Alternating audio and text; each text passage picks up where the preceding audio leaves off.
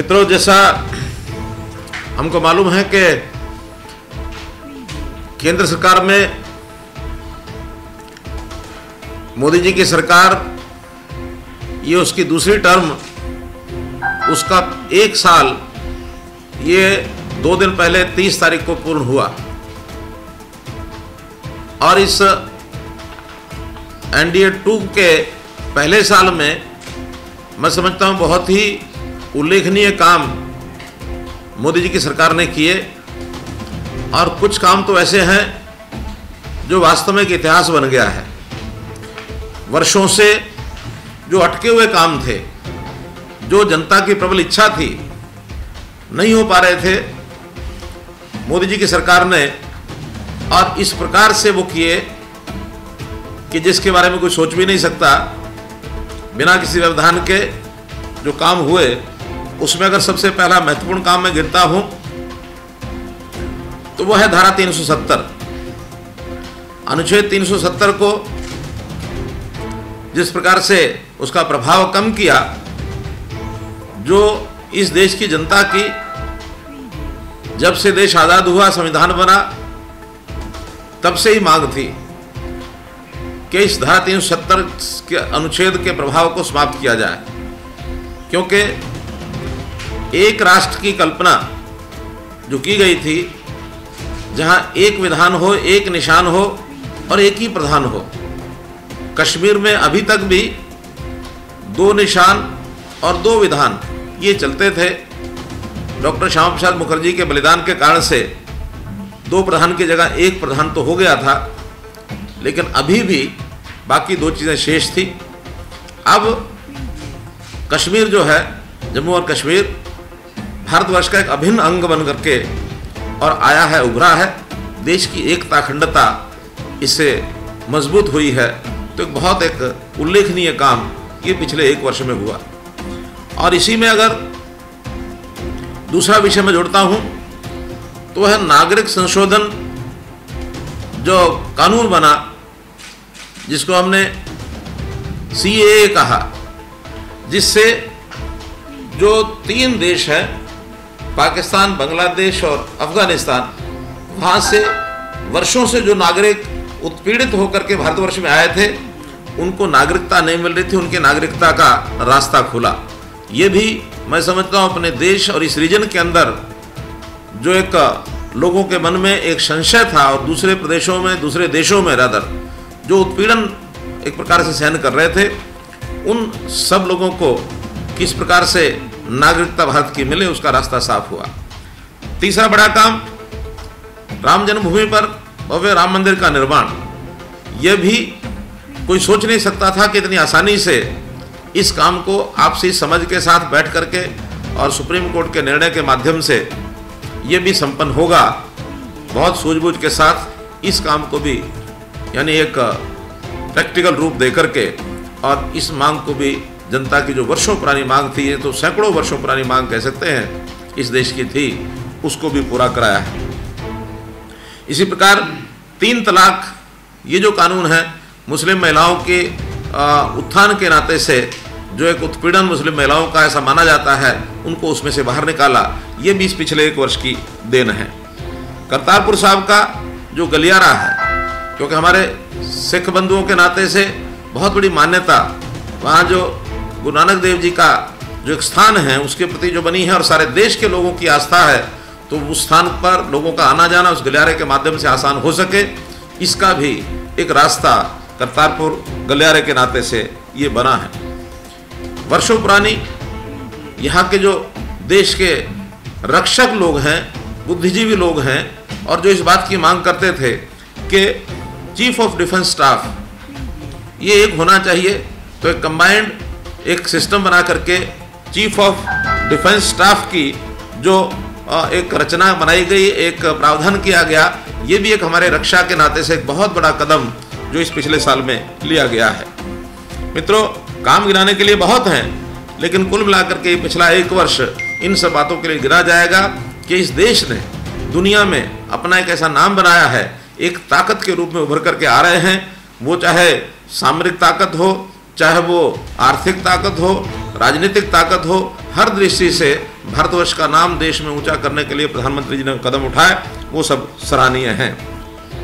प्रधानमंत्री जी ने आर्थिक दृष्टि से इस देश को आगे बढ़ाने के लिए, दुनिया के साथ अपने संबंध अच्छे बनाने के लिए इन्वेस्टर्स को यहाँ लाने के लिए, यहाँ की जनता को किस प्रकार से आगे पार्टिसिपेट कराया जाए, हर वर्ग के साथ उन्होंने संबंध बनाए और संबंध बना करके जनता के लिए भी बहुत सी योजनाएँ वो लागू की। चाहे वो शारीरिक दृष्टि से या चिकित्सा दृष्टि से, शिक्षा की दृष्टि से, किसान की दृष्टि से, व्यवसाय की दृष्टि से, हर प्रकार के क्षेत्र में उन्होंने बहुत सराहनीय काम किए। अगर मैं चिकित्सा के नाते से कोई एक विषय गिनाना चाहूँ तो आयुष्मान भारत जैसी स्कीम, ये भी उन्होंने घोषणा की, जिसके अंतर्गत कहा जा सकता है कि कोई भी गरीब परिवार, उसको पाँच लाख रुपए तक की एक इलाज की गारंटी ये सरकार की ओर से दी गई कि उसका एक चिकित्सीय बीमा कि किसी को रोग के कारण से और इस बात को ना सहन करना पड़े कि रोगी बिना इलाज के और वो मर गया या उसका घर का परिवार की स्थिति खराब हो गई, इसमें से ऊपर उठाया। देश भर में एक करोड़ लोगों ने इसका लाभ उठाया है। अगर मैं हरियाणा की बात करता हूँ तो एक लाख दस हज़ार लोगों ने इसका लाभ उठाया है अभी तक हरियाणा में। और हरियाणा में तो हम इससे आगे बढ़ कर के भी, क्योंकि जिनके नाम एससीसी डाटा में नहीं हैं एससीसी डाटा 2011 में तैयार हुआ था, बहुत परिवारों का नाम उसमें नहीं है। हमने एक प्रावधान बनाया है, उसको जल्दी लागू लागू कर देंगे कि जिन परिवारों की एक लाख अस्सी हज़ार रुपये से कम इनकम है वार्षिक, ऐसे परिवार भी इसमें शामिल किए जाएँगे, चाहे वो एस डाटा में हैं अथवा नहीं हैं। इन सब का खर्च केंद्र सरकार की बजाय हरियाणा सरकार खुद वहन करेगी। तो बहुत बड़ी मात्रा में ये नाम भी जुड़ने वाले हैं। उसकी प्रोसेस चल रही है। वो सब परिवार पहचान पत्र के ना, नाते से जो कार्यक्रम चल रहा है बहुत जल्दी उसका पूर्ण होते ही उसका विधिवत प्रारंभ कर दिया जाएगा। हरियाणा में तो हमने और भी कुछ जो चीज़ें लागू की हैं। उसमें महत्वपूर्ण चीज़ ऐसे रोगी जो किडनी के यानी पेशेंट हैं डायलिसिस इनका होता है अथवा कैंसर के रोगी हैं। ऐसे लग, सब लोगों को भी आर्थिक आवश्यकता बहुत होती है। उनको भी। हमने जो पेंशन बाईस सौ की मासिक है ऐसे सब लोगों के लिए भी बाईस सौ मासिक पेंशन एचआईवी हो अथवा किडनी का डायलिसिस का मरीज़ हो या फिर कैंसर का मरीज़ हो ऐसे सब लोगों को साढ़े बाईस सौ रुपये मासिक पेंशन ये भी हमने लागू की है। मित्रों देश प्रगति के रास्ते पर आगे बढ़ रहा है इसमें, खास करके इन्वेस्टर्स या जो एंटरप्रेन्योर्स भारत में काम करना चाहते हैं, उनके लिए ईज ऑफ़ डूइंग बिज़नेस का पैमाना ये बहुत महत्व रखता है। भारतवर्ष ने इतना एक काम करके हर प्रदेश का इसमें योगदान है, उन योगदान को आगे बढ़ाते हुए ईज ऑफ़ डूइंग बिज़नेस जो वर्ल्ड बैंक का एक पैमाना है, उसके ऊपर जो हमारा एक नंबर था, तिरसठवें नंबर पर हम आ गए हैं। और हमारा जो टारगेट है अगला, वो पचासवें स्थान का है। अगर पचासवें स्थान पर हम देश दुनिया भर में आते हैं तो निश्चित रूप से भारतवर्ष जो है, वो एक एक डेस्टिनेशन प्रेफर, प्रेफर्ड डेस्टिनेशन बन करके और उभरेगा। और इसमें हरियाणा का अपना एक योगदान है। हरियाणा 2014 में, जिसका रैंकिंग अपने देश के प्रांतों में चौदहवें स्थान पर था, हमने अपने आप काफ़ी सुधार किए और सुधारों के बाद हमारी जो रैंकिंग है, वो 2018 के अंदर थर्ड रैंकिंग आ गई थी। और मैं समझता हूँ, अगली बार जब भी इसका कोई रिव्यू होगा तो उसके अंदर हम और अच्छा स्थान बनाएँगे। लेकिन अभी कोरोना के कारण से अगला जो रिव्यू इस समय होना था, वो कुछ दिन के लिए रुका है और कोरोना की समाप्ति के बाद नेक्स्ट रिव्यू में हम और इसमें बेहतर अपना स्थान बनाएँगे, ऐसा मुझे लगता है। प्रधानमंत्री जी ने गरीबों के लिए, किसानों के लिए, छोटे व्यापारियों के लिए और जो हमारा श्रम योगी है, उनके लिए ये भी बहुत ध्यान रखा है कि ऐसे गरीब परिवारों को वार्षिक सहायता, ये पहुंचनी चाहिए। और इसमें भी जो 60 वर्ष की आयु का व्यक्ति हो जाता है, उसको कैसे पेंशन के दायरे में लाया जाए? तो किसान धन, किसान की मानधन योजना, प्रधानमंत्री श्रम योगी मानधन योजना, प्रधानमंत्री लघु व्यापारी मानधन योजना, ये सब योजनाएँ लागू की। और इसमें 18 वर्ष से लेकर 40 वर्ष तक के लोग अपनी ओर से भी कुछ प्रीमियम यदि अदा करते हैं, प्रीमियम उतना ही केंद्र सरकार भी देगी तो इनको तीन हज़ार रुपये पेंशन मिलेगी। हमें जब ध्यान में आया कि ऐसे लोग अपने पास से प्रीमियम देने में असमर्थ होंगे, अथवा संकोच करेंगे, अथवा नहीं देने की आदत से बहस नहीं रहता पैरल हमने एक और स्कीम चलाई, और वो है मुख्यमंत्री परिवार समृद्धि योजना, जिसके अंतर्गत ये तय किया गया कि ऐसे सब प्रकार के प्रीमियम चाहे वो पेंशन के हैं, अथवा कोई बीमा कराना है, बीमे के हैं, क्योंकि सुरक्षा बीमा योजना जीवन ज्योति बीमा योजना, इनके प्रीमियम, बारह रुपये और तीन सौ तीस रुपये ये भी कोई देने के लिए तैयार होता नहीं है। तो ऐसे सब प्रकार के प्रीमियम देने के लिए उस परिवार की सहायता की जाए, जिन परिवारों की आय एक लाख अस्सी हज़ार रुपये से कम है, ऐसे सब परिवारों को छः हज़ार रुपया साल का दे करके ऐसे प्रीमियम उसमें से भराए जाए। ताकि उसकी भविष्य उसका सुरक्षित हो जाए तो ये योजना हमने भी लागू कर दी है। लगभग साढ़े छः लाख लोगों को मुख्यमंत्री परिवार समृद्धि योजना का लाभ ये मिल गया है तो ये उस, इस योजना को हमने आगे बढ़ाया है। प्रधानमंत्री किसान सम्मान निधि छः हज़ार रुपया वार्षिक। ये काम भी इस देश में पहली बार हुआ है कि हर किसान के खाते में हर चार महीने के बाद दो हज़ार रुपया जाएगा। और ये पिछले वर्ष भर में लगातार चला है इस बार की किस्त भी पहुँच गई है। किसान अपने खर्चों को किस प्रकार से उसमें मीट आउट कर सकता है? सारे खर्चे न भी मीट आउट हों तो कम से कम छः हज़ार रुपये का सहयोग साल का उसको होता है। तो एक बहुत बड़ा एक काम जो है किसान का, वो आगे बढ़ जाता है। इस प्रकार की व्यवस्था ये भी प्रधानमंत्री जी ने की है। उसमें हरियाणा ने जो योगदान किया है, वो मैंने आपको बताया है। प्रधानमंत्री जी ने केयरिंग फॉर पुअर जो भी कोरोना के दिनों में। कुछ बातें मैंने कोरोना से पूर्व की बताई हैं, पिछले वर्ष की। लेकिन पिछले ढाई महीने से हम कोरोना के पीड़ में निकल रहे हैं। तो कोरोना के अंतर्गत जो उन्होंने घोषणाएँ की, इस देश को आत्मनिर्भर बनाने के लिए हर व्यक्ति का योगदान हो तो उस नाते से 20 लाख करोड़ रुपए की जो घोषणाएँ की गई, एक पैकेज दिया गया, उसके अंतर्गत बड़ा जो एक लाभ दिया गया एमएसएमई को। उस एमएसएमई में साढ़े तीन लाख करोड़ रुपए का एक पैकेज केवल एमएसएमई के लिए घोषित किया। हमने हरियाणा में भी इसकी योजना बनाई है कि केंद्र का जो लाभ मिलेगा, वो तो मिलेगा ही। साथ में हरियाणा की ओर से भी हम उसमें कुछ लाभ जोड़ सकते हैं। तो जैसे शिशु लोन है एमएसएमई के लिए, पचास हज़ार रुपये का लोन, इस लोन में जो ब्याज एंटरप्रेन्योर को देना पड़ता है, उस ब्याज में हमने भी अपनी ओर से उसमें योगदान करने का ये तय किया है। ऐसे ही ये शिशु लोन पाँच लाख लोगों को हम लोग दिलवाएँगे। इस काम ने बैंकों से बात करके प्रावधान किया है। जो स्ट्रीट वेंडर है, जो अनऑर्गेनाइज लेबर है, रेडी फड़ी वाला है, ऐसे लोगों को भी डीआरआई के अंतर्गत पंद्रह हज़ार रुपये का लोन छोटी पूंजी लगा करके अगर छोटा धंधा कर सकता है वो तो पंद्रह हज़ार रुपये का लोन उनको भी हम दिलवाएँगे। इसके लिए बैंक से बात हो गई है। तीन लाख लोगों को ये लाभ देने का हमारा टारगेट है। इसका इंटरेस्ट चार परसेंट उनको देना पड़ता है वार्षिक। लेकिन हमने तय किया कि दो परसेंट का इंटरेस्ट ये हरियाणा सरकार देगी, ताकि सिर्फ़ दो परसेंट के इंटरेस्ट पर ये तीन लाख लोगों को छोटी पूंजी इनको मिल सके, इसके लिए हमने किया है। किसानों के लिए बहुत सी योजनाएँ बनाई गई हैं।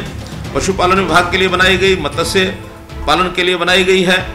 इंटीग्रेटेड फ़ार्मिंग एक प्रकार से जो छोटा किसान है, उसको कैसे खेती क्षेत्र अलग से कोई काम करने के बाद किस प्रकार से अपना जीवन यापन करने के लिए कमा सकता है, पैसा लगा सकता है। इसलिए बहुत बड़े बड़े बजट उस 20 लाख करोड़ रुपए के पैकेज में वो अनाउंस किए गए हैं।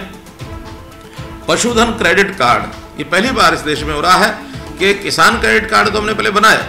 अभी हर किसान जो पशु साथ में रखता है, उसका पशुधन क्रेडिट कार्ड बनाया जाएगा, उसकी लिमिट भी बनाई जाएगी ताकि उस लिमिट के अनुसार बैंक से वो एडवांस ले सके और अपने पशुओं के माध्यम से पशुधन के पालन के माध्यम से अपना जो जीवन उसका विस्तार।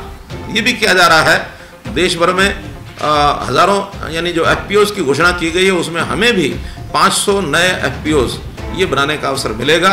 इसमें भी किसान जो अपनी फ़सल का उत्पादन करता है उसकी जो बिक्री है वो एक फार्मर्स प्रोड्यूसर्स ऑर्गेनाइजेशन बना करके और उसकी बिक्री वो ठीक ढंग से कर पाएगा ताकि ये सारी चीज़ें आगे बढ़ने के बाद किसान को एक फ्रीडम होगी अपने उत्पाद को बेचने की, एक ऑर्गेनाइज तरीके से आगे बढ़ने की, और किसान के लिए और बहुत से काम किए हैं। जैसे कल ही हमने ध्यान किया कि एमएसपी ये रिवाइज किया है, और इस एमएसपी रिवाइज करने में चौदह फ़सलों का जो एमएसपी रिवाइज किया है, किसी में दस परसेंट है, किसी में पंद्रह परसेंट है, किसी में आठ परसेंट है तो हर प्रकार के रिवीजन के बाद, और आज किसान की आमदन जो है, दो ढाई हज़ार रुपया एकड़, ऐसे सारे जो एमएसपी के रिवाइज रेट्स हैं, उसमें बढ़ी है।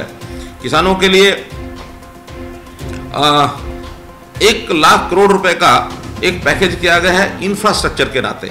तो ये जो इंफ्रास्ट्रक्चर का पैकेज है उस इंफ्रास्ट्रक्चर के पैकेज में भी उन लोगों को अलग अलग से सुविधाएँ मार्केटिंग की सुविधा कैसे बढ़ती बढ़ सकती है उसके लिए उनको आवश्यकता जो होगी उसके लिए काम किया जाएगा।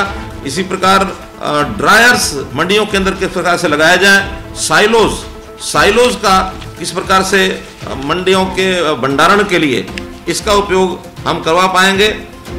इसी प्रकार किसान के नाते से उसके मंडियों में उसको जितने भी लाभ पहुँचाने हैं, एक लाख करोड़ रुपए का इंफ्रास्ट्रक्चर ये उसके अंदर बनाया जाएगा ताकि उसको सुविधा हो सके। मित्रों, इसी प्रकार गरीब लोगों के लिए गरीब कल्याण इस नाते से जो योजनाएँ बनाई हैं, उसमें मनरेगा इसका भी उल्लेख ज़रूर करना चाहूँगा कि मनरेगा का जो वेजेस है, वो बढ़ा करके और इस समय हरियाणा का अगर मैं आंकड़ा बताता हूँ तो तीन सौ नौ रुपया प्रतिदिन जो डेली वेजेस उनको मिलेगा और हरियाणा जो है हाईएस्ट वेजेस के नाते से देश भर में ये होगा। जनधन खाता 20 करोड़ महिलाओं को पाँच सौ रुपया प्रति मास, तीन महीने के लिए उनके बैंक खातों में पैसे डाले जाएँगे और कुछ और कमज़ोर वर्ग हैं जिनको एक मुश्त हज़ार रुपया ये भी लमसम रूप में उसमें डाला जाएगा। हम लोगों ने कोरोना के समय में बहुत से काम किए हैं। तो कोरोना के समय के जो काम हैं देश भर में तो सब काम हो ही रहे हैं। हरियाणा में जैसे हम देखते हैं हरियाणा में कोरोना की लड़ाई बहुत बढ़िया ढंग से हमने लड़ी है। और जहाँ तक आसपास के प्रांतों में तुलना करने की बात है तो मैं समझता हूँ कि दिल्ली, राजस्थान, पंजाब, उत्तर प्रदेश, इन सब प्रांतों से घिरा हुआ हरियाणा उसमें हरियाणा की स्थिति सब प्रांतों में बेहतर है। और एक टीम के रूप में हम लोगों ने काम किया। हर दिन जो भी आवश्यकता रही उसके हिसाब से प्रॉपरली उसका रिएक्शन वो सब हमें मिलता रहा। टीम के रूप में काम किया और अच्छी स्थिति में आज हमें सारे देश में हरियाणा की इस नाते से एक प्रशंसा हो रही है। न केवल कोरोना के जो पॉजिटिव मरीज़ हैं उनके लिए, बल्कि जो गरीब लोग हैं जिनके रोज़गार समाप्त हो गए थे, उनको फाइनेंशियल हेल्प ये भी हमने पर्याप्त भेजी है। जो हमारे एम एम मुख्यमंत्री परिवार समृद्धि योजना की बात तो मैंने बताई है, बीपीएल के परिवार अनऑर्गेनाइज लेबर इनके भी सब मिलाकर के साढ़े छः lakh M M P S Y और साढ़े नौ लाख अन्य, ऐसे सोलह लाख लोगों को चार से पाँच हज़ार रुपया ये पिछले दो महीनों के अंदर हम लोगों ने भेजा है। जो गरीब लोग हैं, जिनके राशन कार्ड नहीं बने हुए थे, ऐसे डीआरटी डिस्ट्रेस राशन टोकन ये भी हमने पाँच लाख के आसपास जारी किए हैं। ताकि कोई व्यक्ति भूखा न सोए। ये जो हमारा टारगेट है, उसको हम पूरा कर सके। आज मैं दावे से कह सकता हूँ कि प्रदेश में भूख के कारण से कोई व्यक्ति सोया होगा, ऐसा संभव नहीं लगता। तो इस नाते से हर घर को हमने एक एक घर में, परिवार में जा जा करके हमारी जो लोकल कमेटीज़ हैं, उन्होंने एक प्रकार से एक सर्वे करके और जो नाम हमको भेजे, उन सब के डीआरटी बनाए गए, उनको दिए गए। इसी बीच में प्रोक्योरमेंट का अपने आप में एक बड़ा विषय किसान की प्रोक्योरमेंट पचहत्तर लाख मीट्रिक टन ये गेहूँ हमने खरीदा 1800 परचेज सेंटर्स और मंडियाँ उनके माध्यम से। और ऐसे ही साढ़े सात लाख मीट्रिक टन सरसों, ये हमने खरीदी है। निर्विघ्न सारा काम लगभग पूर्ण हो चुका है। एक दो दिन पेमेंट जो कुछ पेमेंट्स लेट ज़रूर हुई, लेकिन वो भी व्यवस्था को ठीक करने की दृष्टि से थोड़ा सा देरी हुई, लेकिन एक दो दिन के अंदर अंदर सारी जितनी पेमेंट लोगों की बची है किसानों की, वो सब उनको पहुँच जाएगी। जहाँ तक उद्योग का विषय है इंडस्ट्री इसको भी सुचारू ढंग से हमने यानी चलाया है, पूर्ण किया है, इसके जो प्रतिबंध थे वो समाप्त किए हैं, और लगभग पचास हज़ार जो छोटे बड़े एंटरप्रेन्योर्स हैं, चाहे इंडस्ट्री है, चाहे उसमें व्यावसायिक संस्थान हैं, सब मिला करके 36 लाख लोगों को काम करने के लिए परमिशन ये दे दी गई है। अब सभी इंडस्ट्रीज़ प्रयास हमारी ओर से, यानी सरकार की ओर से तो खोल दी गई हैं। उनके अपने कारणों से अगर कोई को कमी होगी तो उसको अपना पूरा करेंगे। लेकिन हमने इतने लोगों को और काम में दिया है। जहाँ तक एक मज़दूरों की कठिनाई जो आई थी, उस मज़दूरों की कठिनाई को भी हमने बहुत ही सुव्यवस्थित ढंग से, चाहे खेती के मज़दूर थे चाहे इंडस्ट्री के मज़दूर थे, जो लोग घर जाना चाहते थे उनको अपनी व्यवस्थाओं से। हमने लगभग, यानी साढ़े तीन लाख लोगों को, छियानवे ट्रेन पचपन सौ बसों के ट्रिप्स, ऐसे हर प्रांत के लिए जहाँ की आवश्यकता थी, उन प्रांतों को भेजा और ये अपने पास से पैसा खर्च के खर्च के भेजा है। हालाँकि बहुत प्रांतों की ओर से, खास करके अगर मैं बिहार की बात करता हूँ तो वहाँ के मुख्यमंत्री का पत्र आया कि हम इसमें पैसे का योगदान करना चाहते हैं। हमने तुरंत कहा कि नहीं, ये मजदूर जो यहाँ काम करते थे इनका हरियाणा निर्माण में भी अपना एक योगदान है। और आखिर हरियाणा का मजदूर हो या कहीं देश में किसी और प्रांत का मजदूर हो, हम उसमें अंतर नहीं समझते हैं। कारण क्या कि आखिर हरियाणा के निर्माण में ये लोग काम करते हैं। देश हमारा एक है, हम एक देश के वासी हैं, खास करके संकट के समय। हमें इस प्रकार से ये छोटे दायरे समाप्त करके संकट में एक दूसरे का सहयोग, साथ सहायता करनी चाहिए हमने किया है। हमारे अपने लोग थे, इसलिए हमने किया है। हमने किसी पर एहसान नहीं किया है। तो मैंने पत्र का उत्तर भी इसी बात को लेकर के दिया था कि हमारे अपने भाई हैं, बंधु हैं, इसलिए इनकी सहायता करना, ये हमारा फ़र्ज़ है, ये काम भी हमने उसमें पूरा किया है। शिक्षा का जहाँ तक विषय है, शिक्षा के संबंध में चूँकि डिस्टेंसिंग के कारण से सोशल डिस्टेंसिंग स्कूल में विद्यार्थी बच्चे जा नहीं सकते तो उनको ऑनलाइन शिक्षा के ये सारे प्रावधान किए हैं। जो परीक्षाएँ रह गई थी, उन परीक्षाओं को लेने के लिए भी आगे की योजना बन गई है। लेकिन बिना परीक्षा भी अगली कक्षाओं में बच्चे पढ़ाई कर पाएँगे। बहुत आवश्यक जो परीक्षा होगी, वही उसको बाद में देनी होगी। अन्यथा सब बच्चों को हमने अगली कक्षाओं के लिए भेज दिया है। और शिक्षा भी कैसे हमारा शिक्षा का सिस्टम सुधरे, हम अभी से नहीं, बल्कि जब हमारा बजट सेशन था, तब से आपने देखा होगा कि हमने शिक्षा के सुधार के लिए इस बार बजट में खूब बढ़ोतरी की थी। तेरह पॉइंट आठ प्रतिशत। ये बजट हमारा इस बार शिक्षा में हमने लगाया था, जो पिछले बार के बजट से एक डेढ़ गुना से भी ज़्यादा वो बजट इस बार हमारा है। और इसमें खास करके ग्रामीण क्षेत्र के अंदर अच्छी शिक्षा का स्तर हो तो Adarsh Sanskrit school block wise ये खोलने की हमने योजना बनाई है। जो गाँव हैं, उनके अंदर जहाँ दो या दो से ज़्यादा प्राइमरी स्कूल हैं, उनमें एक एक प्राइमरी स्कूल को इंग्लिश मीडियम एक प्राइमरी स्कूल के रूप में विकसित किया जाए और वो बैग फ्री प्राइमरी स्कूल होगा, बस्ता मुक्त।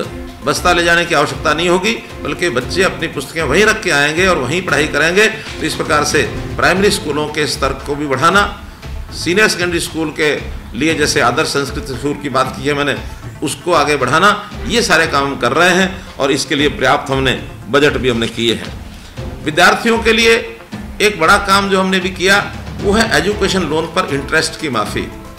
जो विद्यार्थी एजुकेशन लोन लेकर के अपनी पढ़ाई कर रहे थे, कर रहे हैं, और जिनका भी मूल राशि की वापसी शुरू नहीं हुई है, ऐसे सब विद्यार्थियों के एजुकेशन लोन के ऊपर तीन महीने का जो इंटरेस्ट है, जो लगभग पचास करोड़ रुपया बनता है, ऐसे तीन महीने का इंटरेस्ट, उसकी माफ़ी भी हमने की है, जो एक बड़ी राहत उनके लिए ये सिद्ध होगी। किसानों के लिए भवंतर भरपाई योजना ये भी हमारी बरकरार चल रही है, किसी प्रदेश में ऐसी योजना नहीं है जैसी हमने बनाई है। सब्ज़ियाँ और कुछ फ़सलें 19 सब्ज़ियाँ और फ़सलें ऐसी हैं जिसमें भावांतर भरपाई योजना के माध्यम से हमने पिछले वर्ष में 610 करोड़ रुपया ये खर्च किया है। उसके अंदर सब्ज़ियाँ भी हैं, उसमें बाजरा भी है, उसमें सरसों भी है। ऐसी जो फ़सलें जिसका हमको घाटा होता है, वो सरकार उसके घाटे की भरपाई करती है, ये सब हमने पूर्ण किया है। पावर, बिजली विभाग इसमें भी इंडस्ट्री की डिमांड थी, वो भी हमने पूरी की है कि 25 परसेंट जो तीन महीने का फिक्स चार्जेस थे, मार्च, अप्रैल और मई के, इसको अप्रैल, मई, जून के, इसके तीन महीने के जो हमारे फिक्स चार्जेस हैं, वो एक नियम बना करके उनको हमने माफ़, माफ़ किया है और जो पचहत्तर परसेंट की बिजली जो पावर फिक्स पावर के चार्जेस हैं, अगले छः महीने में उनको डेफर किया है, जुलाई से दिसंबर तक वो उसको दे सकेंगे। फसली ऋण उसकी जो राहत योजना, ये हमने बनाई थी। चार लाख दस हज़ार किसान उसका लाभ ले चुके हैं। तेरह सौ चौदह करोड़ रुपए का उनको ब्याज और जो जो पेनल्टीज थी, वो उनकी माफ़ हुई है। और इस योजना को, वैसे तो पिछले साल ख़त्म हो जानी चाहिए थी, लेकिन अभी चूँकि कोरोना का पीरियड है, इस योजना को भी हमने 30 जून तक बढ़ा दिया है, ताकि जो किसान रह गए होंगे, वो इसका लाभ ले सकें। नलकूप पावर बिल माफ़ी योजना, इसमें भी एक लाख बारह हज़ार किसानों ने लाभ उठाया है। तेईस करोड़ का इसमें लोगों को लाभ हुआ है। चार हज़ार नई मोटर्स, ट्यूबवेल कनेक्शन जो बाकी थे, फाइव स्टार के, वो लग गए हैं। मोनोब्लॉक की मोटर्स के लिए किसानों को फ्री छोड़ दिया है कि वो अपनी मोटर अपने आप खरीद करके और उसमें लगा सकते हैं। मित्रों, केंद्र सरकार ने अटल भूजल योजना, एक योजना शुरू की और इसका मैं उल्लेख इसलिए करना चाह रहा हूँ कि एक बड़ी योजना हमने भी हरियाणा में बनाई है और वो योजना है, मेरा पानी मेरी विरासत। पानी के संकट को देखते हुए हम पानी को कैसे बचाएँ? आने वाली पीढ़ियों को ज़मीन के साथ विरासत में पानी भी दे करके जाए तो ये एक बड़ा लक्ष्य सामने रख करके धान के किसानों को हमने अपील की है कि जो ज़्यादा गहराई पानी चला गया 40 मीटर से नीचे जहाँ पानी चला गया है, वहाँ के किसान 50 परसेंट धान की बिजाई कम करें। उसके अंदर कुछ छूट भी हमने दी है, लेकिन इसका सहयोग हमको देश में यानी केंद्र सरकार भी दे रही है। प्रधानमंत्री जी ने घोषणा की है अटल भूजल योजना, और जिसके लिए सात करोड़ रुपया ये हरियाणा को मिलने वाला है। इस सात करोड़ रुपए के माध्यम से हम बोरवेल्स लगाएँगे ताकि पानी की रिचार्जिंग हो सके। हम पौंड अथॉरिटी के माध्यम से तालाबों को ठीक करेंगे, जहाँ जहाँ रिचार्जिंग का काम हो सकता है वो करेंगे, पानी को बचाने का काम करेंगे, ताकि पानी हमारा भविष्य है, पानी हमारा जल, हमारा जीवन है, इस बात को ध्यान में रखते हुए इसका भी हम उपयोग करेंगे। मित्रों अगर मैं पोस्ट कोविड की बात करता हूँ, कोरोना के बाद आखिर क्या क्या होगा उसमें? उसमें भी जैसे प्रधानमंत्री जी ने बहुत सी योजनाएँ उनको लागू करने के लिए जो पैकेज घोषित किए हैं, खास करके चाहे वो किसान हैं, चाहे इंडस्ट्री है और चाहे इन्वेस्टर हैं, एक बड़ी योजना जो कि देश और दुनिया में अभी जो कुछ चल रहा है, उसके अंदर भारतवर्ष भी ये चाहेगा कि ज़्यादा से ज़्यादा इन्वेस्टर हमारे यहाँ आए हरियाणा के नाते हम भी चाहेंगे कि बाहर के इन्वेस्टर यहाँ आए। हमने पिछले दिनों के अंदर जापान के लोगों से, अमेरिका के लोगों से और अब आगे कोरिया के लोगों से भी एक मेरी वेबिनार वेबिनार के माध्यम से बातचीत होने वाली है कि उनसे, उनको बता करके और हमारे यहाँ जो क्या क्या सुविधाएँ हम उनको दे सकते हैं, वो सारी सुविधाओं के माध्यम से उनको आकर्षित किया जाए। खासतौर पर उनकी अपेक्षा होती है कि ज़मीन हमको ये यहाँ पर मिले, आसान किस्तों पर मिले या आसान कीमत पर मिले। हमने उसके लिए लीजिंग का जो पैटर्न है, ज़मीन देने का, वो भी दीर्घ काल के लिए लीजिंग पैटर्न इसको भी शुरू किया है, ताकि उनको खरीदने ना पड़े और लीज पर ले सकें। पंचायती ज़मीन को भी लीज पर ले करके और यहाँ इंडस्ट्री लोग लगा सकते हैं, ये भी हमने उसमें से एक प्रावधान निकाला है। और हरियाणा के अंदर इन्वेस्टर जो आए, उसके लिए जो मुख्य बातें हैं, ज़मीन की जैसे मैंने बात बताई, उसमें एक ईज़ ऑफ़ डूइंग बिज़नेस भी है। आखिर हमारे यहाँ, हम तीसरे रैंक पर देश भर में हैं। नॉर्थ इंडिया में तो फ़र्स्ट स्थान पहले स्थान पर हैं। और दिल्ली के नज़दीक होने के नाते से एक जो विसिनिटी है और एक एनसीआर के अंदर होने के नाते से लोगों की एक चाहत भी है कि हरियाणा में आए हम और यहाँ पर आकर के इंडस्ट्री लगाएँ। हम इसके लिए अपने नौजवानों को, उनको स्किलिंग भी कराएँगे। स्किल डेवलपमेंट के माध्यम से योग्य व्यक्ति, योग्य वर्कर ये इंडस्ट्री को मिले, इसके लिए भी हम अपना सारा सिस्टम हमने बनाया है उसके अंदर हमको लाभ मिलेगा। क्लस्टर अप्रोच ये हमने शुरू की है ताकि उस क्लस्टर अप्रोच में एक एक ज़िले में किस प्रकार की क्लस्टरिंग हो उद्योग की कहीं एग्रो फूड्स की इंडस्ट्री है कहीं फार्मास्यूटिकल की है कहीं वस्त्र वस्त्र उद्योग ये शुरू हो कहीं स्टील का उद्योग शुरू हो ऐसे अलग अलग प्रकार के क्लस्टर्स की अप्रोच हमने आ, सारे हरियाणा में 22 के 22 ज़िलों के अंदर ये बनाई है। इसके लिए भी हम आगे काम कर रहे हैं और मैं समझता हूँ कि दुनिया भर के लोग बहुत आकर्षित होंगे। हरियाणा है और चाहे देश है क्योंकि हरियाणा का अपना एक योगदान देश के अंदर बड़ा महत्वपूर्ण है। प्रधानमंत्री जी ने आ, हमारा जो स्वर्ण जयंती का कार्यक्रम था उसमें आकर के कहा कि Haryana can become the growth growth engine of the country यानी हमारा हमारे प्रति इतना एक विश्वास है देश के प्रधानमंत्री को कि हरियाणा देश का ग्रोथ इंजन बन सकता है। और ग्रोथ इंजन के रूप में हम आगे बढ़ भी रहे हैं। क्योंकि अगर मैं प्रति व्यक्ति आय की बात करता हूँ तो हमारी बड़े जो प्रदेश हैं, प्रति व्यक्ति आय इस पर हम नंबर एक पर हैं। हमारा जीडीपी आठ लाख करोड़ रुपए का ये जीडीपी हो चुका है। तो इस नाते से एक बहुत बड़ा, एक आर्थिक, एक ताकत हरियाणा की प्रदेशों में जहाँ देखते हैं वो बनी हुई है।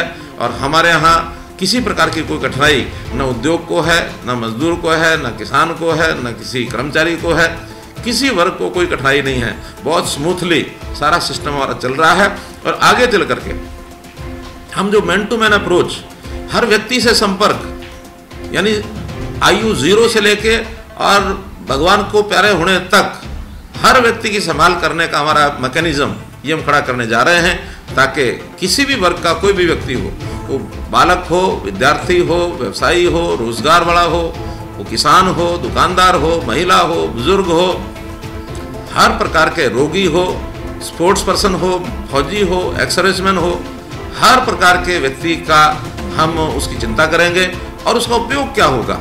वो प्रदेश के, देश के हित में क्या कर सकता है? इसके लिए भी हम काम करेंगे ताकि हर व्यक्ति को ये लगे कि मुझे भी अपने देश प्रदेश के लिए कुछ योगदान करने का अवसर मिल रहा है। उसमें निश्चित रूप से पत्रकार, फोटोग्राफर, कलाकार, गीतकार, संगीतकार ये भी होंगे।